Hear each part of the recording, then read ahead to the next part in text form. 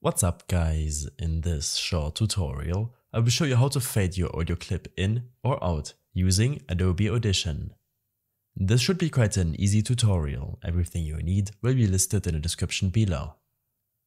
After recording your voice or importing an audio file in your multi-track session, you should be able to see this audio line which is going through your audio. You can simply click on a point to create the timestamp on your volume line.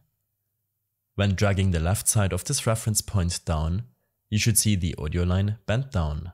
This indicates that the music will fade in from the left to the right, as the volume line goes up over time. Use the same logic to fade your audio out by creating a new point in your volume line towards the end and drag the end of the line to the bottom to fade out the audio.